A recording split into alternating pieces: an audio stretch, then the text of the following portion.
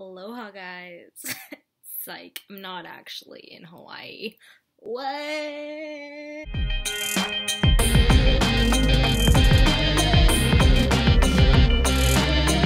Hey guys, I think we're gonna dig a little deeper into my past here. I've been getting um tons of comments and uh just so many just like tweets like hey like like tell us a little bit about your backstory like what happened there um, so, a fun little introduction story which I like to tell is just call it the bunny costume.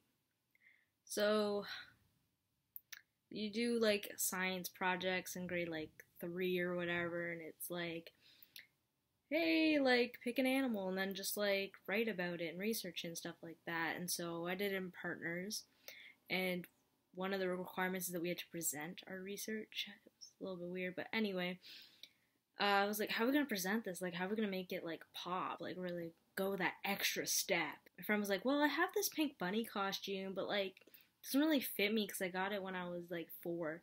And I was like, perfect. I'm sure I can totally fit in it. So, on the day of the presentation, I spend the entire day, not just the, for the presentation, no, I spend the entire day in this bunny suit. And so I was like, it's not weird.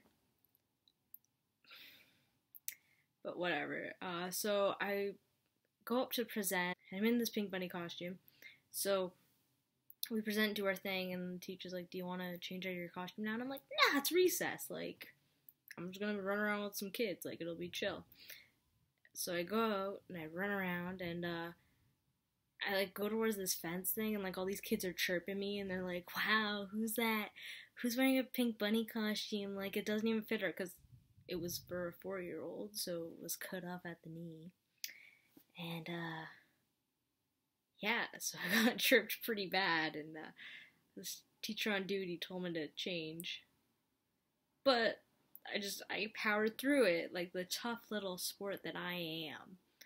And I regret it because we didn't even get an A, so whatever. Whatever, it's fine. I'm not like salty or anything.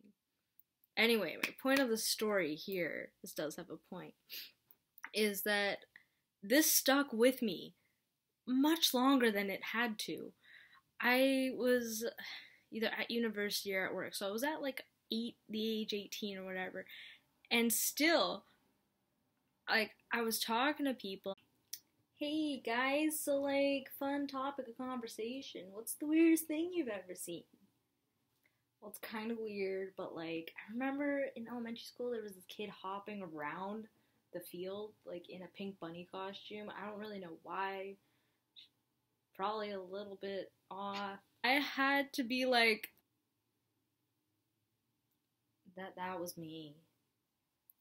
It just I was in university, so it's like why sometimes I wonder why I even admitted to it. But anyway, if you ever think that you've done some weird things in your past and stuff like that, just I wore a pink bunny costume and it stuck it's still stuck with me to this day. Don't even know why I told you. You know what? Peace out.